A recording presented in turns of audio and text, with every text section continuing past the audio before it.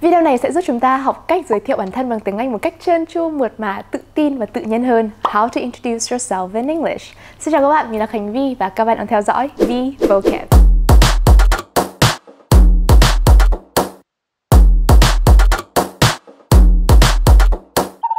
Giới thiệu bản thân bằng tiếng Anh nghe thì đơn giản nhưng mà ở trong nhiều trường hợp chúng ta sẽ rất ú ớ. Tell me about yourself. Oh, hello. Uh, my name is V. I'm 19 years old. Uh, I'm I'm fine, thank you and you. Có một câu nói là you never get a second chance to make a first impression. Chúng ta sẽ không có cơ hội thứ hai để tạo dựng ấn tượng đầu tiên cho nên việc giới thiệu bản thân nó rất là quan trọng. À, đầu tiên chúng ta phải luyện tập bởi vì càng luyện tập thì mình sẽ nói càng suôn hơn, mượt hơn. Cái thứ hai giới thiệu bản thân sẽ tùy thuộc vào từng hoàn cảnh. It depends on the context. Ví dụ như không thể nào mà chúng ta chào hỏi một bác hàng xóm mới gặp mà chúng ta phải kể liệt kê gia đình, sự nghiệp, công việc, học tập bạn bè được đúng không? Thứ ba đó là ngắn gọn, không dài dòng. Cái thứ tư là luôn cười, luôn make eye contact, luôn giao tiếp bằng ánh mắt và thể hiện sự hứng thú của mình khi giới thiệu bản thân mình cho người khác nghe và thể hiện sự hứng thú khi mà mình được lắng nghe họ giới thiệu về bản thân họ. Như là chào hỏi và giới thiệu tên. Với những kiểu formal thì mình có thể là hello, good morning, good evening, good afternoon.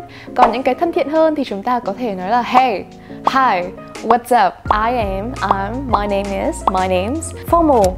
Good morning everyone. My name is Kang V, but it's hard for some people to say, so you can call me V, the letter V. Hey, my name is V. Nice to meet you. Hi, my name is Amy. Nice to meet you too. Cái thứ hai đó là gốc gác mình đến từ đâu thì chúng ta hay được học là I am from, I come from. Ngày trước thì mình hay nói là I am from nhưng mà mình cảm thấy câu này nó hơi cứng cho nên nếu muốn nói tự nhiên hơn, kiểu nó mượt hơn thì chúng ta có thể nói là I'm from. Cái câu mình hay nói nhất đó là câu em là quê ở Vinh nhưng mà bây giờ em đang ở Hà Nội. Dịch ra thì chúng ta có thể nói hoàn chỉnh đó là I'm originally from Vinh City, but now I'm based in Hà Nội. Tức là quê em ở Vinh nhưng bây giờ thì em đang ở Hà Nội. Mình thì Bắc Tiến lập nghiệp. Câu này thì các bạn có thể thay vào I'm originally from tức là quê em ở, but now I'm based in, nhưng mà bây giờ thì em đang ở chấm chấm chấm các bạn điền vào thành một câu hoàn chỉnh của mình. I come from Nghệ An but I've been living in Hanoi for the past five years. I come from Nghệ but I've been living in Hanoi since 2016. I was born and raised in Hải Phòng, but I've moved to Ho Chi Minh City a few years ago. I was born and raised in Hải Phòng, but I've moved to Ho Chi Minh City last year. I grew up in Vũng Tàu, but now I'm based in Nha Trang. Hoặc là I spent my childhood in Australia, but now I'm based in Vietnam. Rồi các bạn hãy chọn ra cái mẫu câu các bạn thích và điền vào nhé. Tiếp theo nói về học tập của mình, education. Câu phổ biến nhất đó là em đang học cái gì đấy thì mình có thể nói là I'm currently studying chấm chấm chấm. I'm currently studying business, I'm currently studying economics, I'm currently studying international relations, I'm currently studying media and communications, I'm currently studying journalism. Hoặc các bạn có thể nói là em đang học năm cuối của ngành gì đó. I'm in the final year of my marketing degree. Hoặc là em đang học năm tư đại học. I'm in the fourth year of my bachelor's degree. Hoặc đơn giản đó là em học gần xong rồi. I'm nearing the end of my studies. I'm nearing the end of my studies. Lúc đấy thì người ta sẽ hỏi, ốt thì em đang học gì đấy? What are you studying? So what is your major? Thì mình hãy nói tiếp, I'm currently studying chấm chấm chấm. Uh, my major is chấm chấm chấm. Điền vào. Rồi thế bây giờ tốt nghiệp rồi thì mình sẽ nói như thế nào? Mình có thể nói là I am cộng với AN cộng với ngành của mình và cộng với graduate là người đã tốt nghiệp ngành nào đó. Ví dụ như nói là I am a psychology graduate em tốt nghiệp ngành tâm lý. Hay là I am a journalism graduate em tốt nghiệp ngành báo chí. Em tốt nghiệp ngành kỹ sư I am an, an engineering graduate. Hoặc là em là tốt nghiệp trường Oxford I am an Oxford graduate. Ok luôn hoặc đơn giản là em có bằng làm phim, I have a degree in filmmaking, I have a degree in, đó, em có bằng em tốt nghiệp ngành gì đó, điền vào.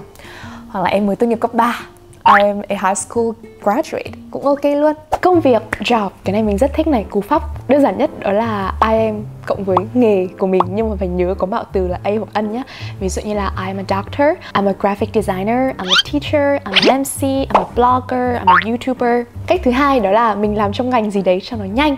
Là I work in cộng với industry một cái ngành gì đó. Ví dụ em làm trong ngành giải trí I work in entertainment. Mình liệt kê ra một số ngành nó có thể không đầy đủ lắm nhưng mà khá là bao quát mọi người có thể uh, tham khảo nhé ví dụ I work in IT I work in computer and technology I work in entertainment I work in education I work in finance I work in economics I work in fashion I work in food and beverage I work in healthcare I work in hospitality I work in manufacturing I work in media and news I work in telecommunication I work in transportation đó mọi người điền vào I work in cộng với industry của mình đang làm Cách thứ ba đó là nói em làm cho hoặc là em làm tại I work for. Ví dụ em làm cho chính phủ I work for the government. Em làm cho một tổ chức NGO I work for an NGO.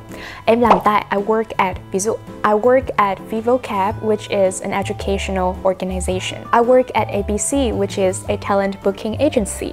Em đã làm chỗ này được từng này năm rồi. I've been working for Vietnam Television for 5 years. Em đã làm tại đài truyền hình Việt Nam được ờ, uh, 5 năm rồi. I've been working for chấm chấm chấm for chấm chấm chấm years. Điền vào. Tên tên tên. Thế câu hỏi đặt ra là bây giờ tôi không làm cho ai hết, tôi làm freelance thì tôi sẽ giới thiệu như thế nào? Uh, freelance là một cái nghề rất phổ biến bây giờ mà dịch ra là nghề tự do. Mình thì không thích cái dịch nghề tự do một tí nào bởi vì mình thấy khi tự do là cảm giác nó không có kỷ luật không có quy tắc trong khi những người làm freelance làm cho chính bản thân họ là những người làm cực kỳ vất vả và cực kỳ năng suất luôn. Thì uh, với những người làm freelance thì chúng ta có thể nói là I work for myself em làm cho em. Hoặc là I run my own business. Em có một cái doanh nghiệp riêng, em chạy một cái công ty riêng cho em. Tức là thay vì mình nói là mình làm tự do nghề này thì mình có thể nói thêm một cái khía cạnh nào đó đặc trưng và làm cho công việc của mình đặc biệt để giới thiệu. Không chỉ khiến cho việc đó nó, kiểu, sang miệng hơn, mà còn khiến nó chuyên nghiệp hơn nữa. Ví dụ, mình làm thiết kế tự do, I do freelance design, thì mình có thể nói thêm là I help small businesses and entrepreneurs build a strong web presence through design. Em giúp đỡ các doanh nghiệp và các doanh nhân phát triển hình ảnh trên website của họ thông qua việc thiết kế. Em làm freelance quản lý mạng xã hội. I am a freelance social media manager. Or I specialize in helping public figures uh, grow their social media platforms. Em giúp đỡ các celeb phát triển những cái hạ tầng mạng xã hội của họ. Ví dụ như thế. Hay là nói em bán quần áo thì mình sẽ có thể nói là em sở hữu một cái thương hiệu quần áo tập trung vào việc phát triển những cái phong cách tối giản cho phụ nữ.